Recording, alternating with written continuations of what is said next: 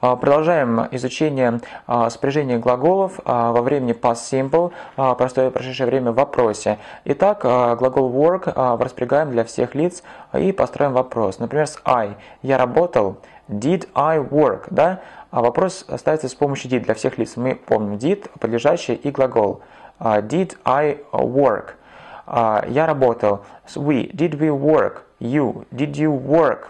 Они. They. Did they work? He. Did he work? Он работал. She. Did she work? It. Did it work? А, например, глагол а, делать. Да, делать это. Я сделал это. Did I do it? We. Did we do it? You. Did you do it? Uh, they. Did they do it? He. Did he do it? She. Did she do it?